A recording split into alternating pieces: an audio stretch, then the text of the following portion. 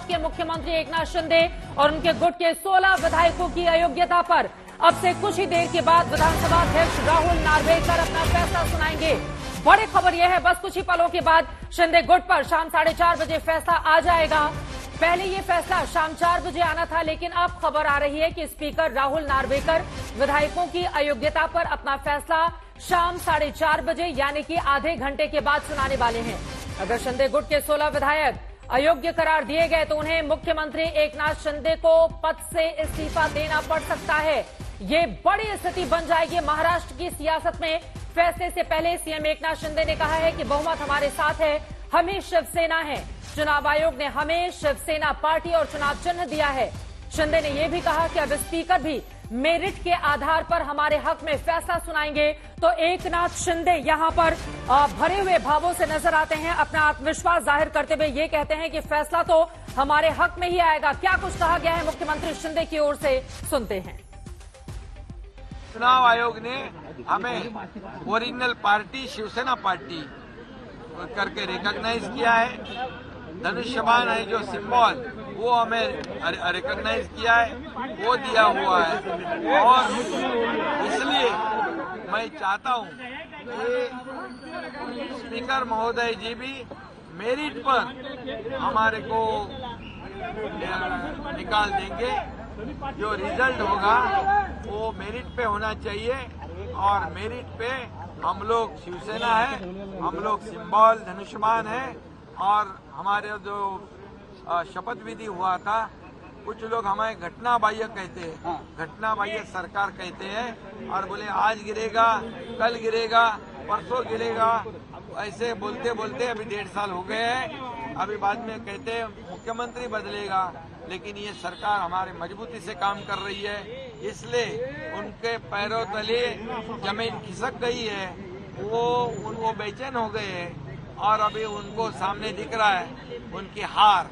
इसलिए ये गलत सलत आरोप लगाते हैं। जब उनके फेवर में कोई निर्णय होता है तो अच्छा बोलते हैं। मुख्यमंत्री महाराष्ट्र के एकनाथ शिंदे को आप सुन रहे थे, उनकी ओर से कहा गया है, मेरिट के आधार पर फैसला होगा, दूसरे गुट के पैरों तले ज़मीन खसक चुकी है। असली शिवसेना कौन, शिंदे गुट या फिर उद्धव गुट? ये फैसला तो चुनाव आयोग पहले ले चुका है, लेकिन इस फैसले से पहले स्पीकर और मुख्यमंत्री के बीच हुई मुलाकात को लेकर उद्धव गुट ने निशाना साधा। उद्धव ठाकरे ने कहा कि स्पीकर का फैसला सिर्फ़ औपचारिकता भर है। उनकी ओर से क्या कुछ कहा गया? सुनते हैं। हमें आशंका है क्योंकि सिर्फ़ स्पीकर और मुख्यमंत्री ऐसी ये मीटिंग नहीं थी, और वैसी भी अगर मीटिंग करनी हो तो कभी, मैं भी मुख्यमंत्री था, कभी स्पीकर उठकर मुख्यमंत्री के यहाँ नहीं जाते, वो मुख्यमंत्री जी को बुला लेता है। लेकिन अब ये दोनों जो है, सिर्फ़ मुख्यमंत्री और स्पीकर नहीं है। स्पीकर जो है, वो ट्राइब्यूनल है, और मुख्यमंत्री का आरोपी है। तो क्या एक जज जिनके ऊपर आरोप है, उनको मिल सकता है क्या? तो यही एक आशंका आती है कि क्या इन दोनों की मिलीभगत तो नहीं है? और सिर्फ़ मिलीभगत, कोई व्यक्तिगत रूप में ये केस नहीं है? देश में प्रजातंत्र रहने वाला है या नहीं है? या दोनों मिलकर प्रजातंत्र की हत्या करने की साजिश कुछ कर रहे हैं, कोशिश कर रहे हैं? ऐसे तभी निकाला जाए तो इसमें एक ही बात कहूँगा मैं, ये मैच फिक्सिंग अगर होती तो रात को आते अध्यक्ष रात को आते चुप कर आते. ये दिन दहाड़े आ गए. अपने अधिकृत वाहन में आ गए और ऑफिशियल बैठक थी. उनके जो चुनाव क्षेत्र में जो कोस्टल हाईवे का काम शुरू है, मरीन ड्राइव में काम शुरू है, कुछ उनके चुनाव क्षेत्र के विषय थे. मैं मुख्यमंत्री हूँ और वो स्पीकर भी है और एमएलए भी है.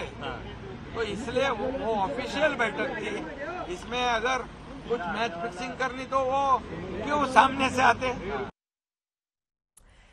एक दूसरे को लगातार यहाँ पर दोषी करार देते हुए अपनी अपनी जीत का दावा किया जा रहा है, लेकिन आगे क्या होगा, कुछ ही देर में यह फैसला आने वाला है। बड़ी खबर इस वक्त की आपको देते हैं। बड़ी खबर यह है, इस फैसले का लाइव प्रसारण भी किया जाएगा।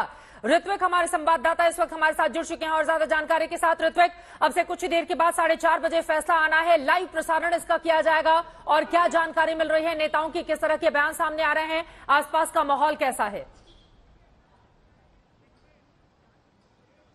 जी, बिल्कुल। लाइव प्रसारण किए जाने का निर्णय जो है, ये महाराष्ट्र असेंबली के सेक्रेटरिएट ने कुछ ही घंटे पहले लिया हुआ है क्योंकि कल हमने देखा किस तरह से उद्धव गुट की तरफ़ से खुद उद्धव ठाकरे ने विधानसभा अध्यक्ष राहुल नार्वेकर को ही निशाने पर ले लिया। उन्होंने आरोप लगाया कि ये मिली भगत है। आज संजय राउत कह रहे हैं कि ये मैच फिक्सिंग है।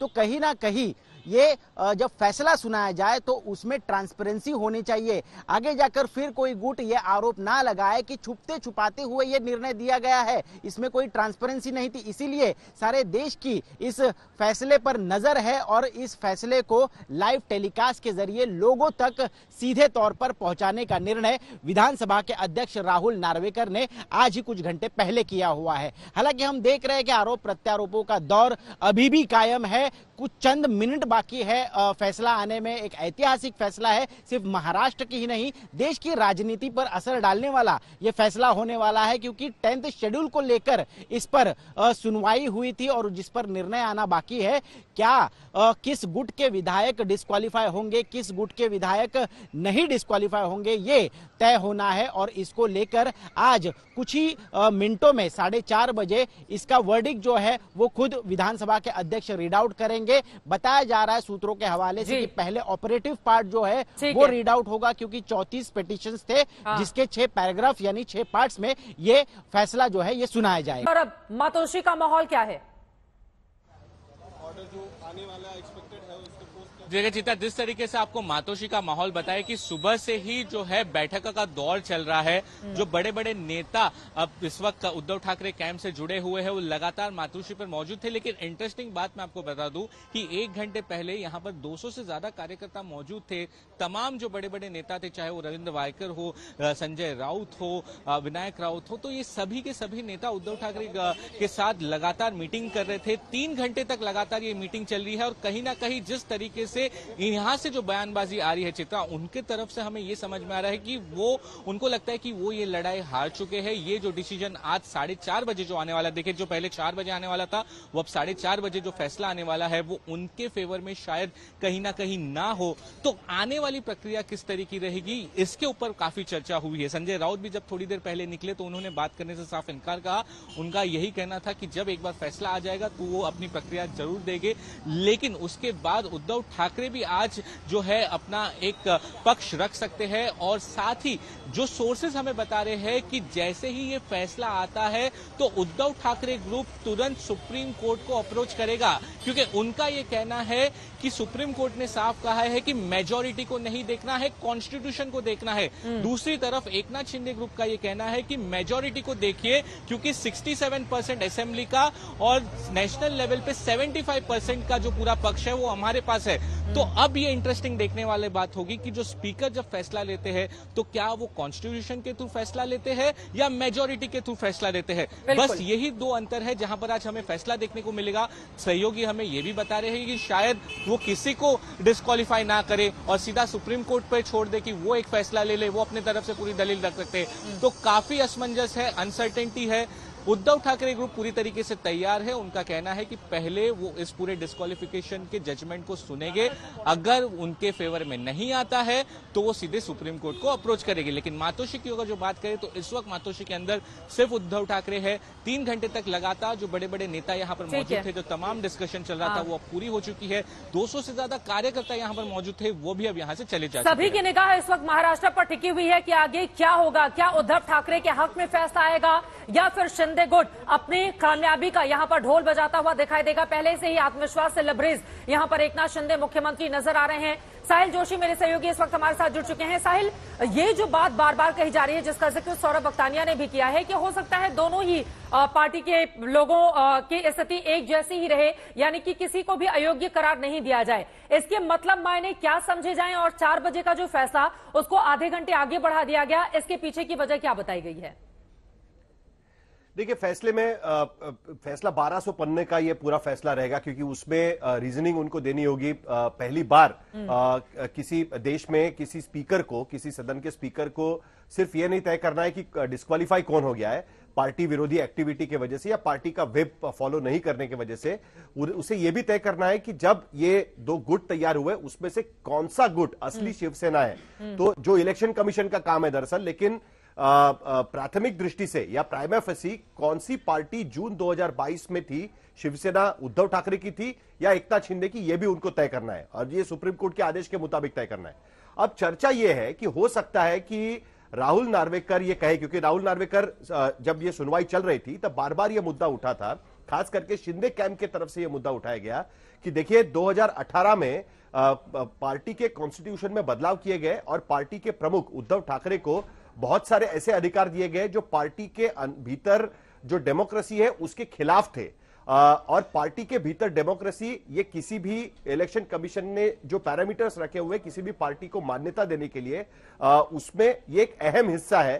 तो जिसके चलते इलेक्शन कमीशन ने भी अपने फैसले में यह बात को मानते हुए कहा कि जिसके वजह से पार्टी के अंदर कॉन्स्टिट्यूशन में जो बदलाव किए गए हैं उन्हें हम खारिज करते हैं नंबर एक। नंबर दो पार्टी के भीतर यह बदलाव करने के बाद पार्टी ने जो कम्युनिकेशन इलेक्शन कमीशन को किया था वो पार्टी इलेक्शन कमीशन ने रिकॉर्ड पर नहीं लिया गया नहीं लिया है जिसके वजह से पार्टी की ओरिजिनल कॉन्स्टिट्यूशन 1999 की यही इलेक्शन कमीशन के दफ्तर में असली कॉन्स्टिट्यूशन के तौर पर हम मान रहे हैं। तो जब राहुल नार्वेकर ने इलेक्शन कमीशन ने शिवसेना की कॉन्स्टिट्यूशन मांगी क्योंकि घटनापीठ ने जो कॉन्स्टिट्यूशनल बेंच था अ, सुप्रीम कोर्ट का उन्होंने अपने फैसले में कहा था कि राहुल नार्वेकर पार्टी की पार्टी का संविधान पार्टी का पॉलिटिकल uh, स्ट्रक्चर uh, ये इसके आधार पे ये तय करे कि असली पार्टी कौन थी जून 2022 में। तो जिसके चलते ये संविधान मंगवाया गया। इलेक्शन कमीशन ने 1999 का संविधान राहुल नार्वेकर के हाथ में सौंपा है। अब अगर राहुल नार्वेकर कहे कि जून 2022 में पार्टी के 1999 के कॉन्स्टिट्यूशन के तहत किसी के भी हाथ में पार्टी नहीं थी तो पार्टी का स्ट्रक्चर तय करना बहुत मुश्किल है। पार्टी का स्ट्रक्चर तय करना बहुत मुश्किल है जिसके वजह से पार्टी का उस वक्त कौन विप था वो तय करना मुश्किल है जिसके वजह से कोई भी डिस्कालीफाई नहीं हुआ। ये एक बात मानी जा रही है चित्रा। लेकिन सुप्रीम कोर्ट के फैसले में यह बात साफ़ शब्दों में कही गई है कि अगर दो गुट सामने आते हैं तो उसमें से एक गुट को असली शिवसेना मानना ही होगा या असली पार्टी कौन है यह मानना ही होगा। तो ये ये पूरी तरीके से स्पीकर के डिस्क्रिप्शन पे उनकी मर्ज़ी पे ये पूरा तय होगा उनके इंटरप्रिटेशन पे ये सारी चीज़ें तय होगी। तो जिसके चलते या तो फैसला शिंदे शिंदे के पक्ष में जाएगा या तो किसी के भी खिलाफ यह फैसला नहीं जाएगा। किसी भी सूरत में उद्धव ठाकरे गुट ने सुप्रीम कोर्ट जाने की पूरी तैयारी इस वक्त करके रखी हुई है। चित्रा। सुप्रीम कोर्ट उद्धव ठाकरे गुट जाएगा, इसकी पूरी तैयारी कर ली गई है। आज सुबह से ही बयानबाजियों का दौर भी जारी है। साहिल, जैसा कि जानकारी दे रहे हैं, साहिल, मैं फ़ौरन आपके पास आऊँगी, लेकिन मुझे लगता है वो टाइमलाइन अपने दर्शकों को डिटेल में जल्दी से बता देते हैं कि किस तरह से उतार चढ़ाव इस पूरे मामले में आया। एक वक्त पे इलेक्शन कमीशन से लगा कि शिंदे गुट की जीत हो गई है, लेकिन दूसरी तरफ़ स्पीकर के फैसले को लेकर उहापोह की स्थिति बनी रही। 20 जून 2022 शिंदे के साथ 15 शिवसेना विधायक सूरत पहुँचे थे। बगावत पर कानूनी लड़ाई पूरी बता रहे हैं। 23 जून को 16 बागी विधायकों को अयोग्यता का नोटिस पकड़ा दिया गया था। बागी विधायक सुप्रीम कोर्ट पहुँचे थे 25 जून 2022 की ये तारीख थी। और उसके बाद आपको बता दें, सुप्रीम कोर्ट ने बागी विधायकों को 26 जून को राहत दे दी थी। यानी कि शिंदे के साथ जो पंद्रह और लोग थे, उनको राहत मिल गई। नए स्पीकर ने शिंदे गुट को मान्यता दी। 3 जुलाई 2022 को केस सुप्रीम कोर्ट की संविधान पीठ को 23 अगस्त 2022 को ट्रांसफ़र किया गया था और उसके बाद संविधान पीठ ने अपना फैसला सुरक्षित रख लिया 16 मार्च 2023 का। ये वाक्य आपको बता रहे हैं। 11 मई वो दिन आया जब सुप्रीम कोर्ट का उद्धव सरकार बहाल करने से इनकार हो गया। स्पीकर को अयोग्यता पर फैसले का सीधे निर्देश 11 मई को दिया गया और अब आज वो तारीख, आज वो दिन आ चुकी है जब स्पीकर थोड़ी देर के बाद फैसला सुनाएँगे। क्या अयोग्यता पर फैसला उनकी ओर से लिया जाता है? क्या उद्धव ठाकरे को मिलेगी राहत? क्या फिर शिंदे गुट की यहाँ पर जीत हो जाएगी? दोनों तरफ़ से अपने अपने दावे किए जा रहे हैं।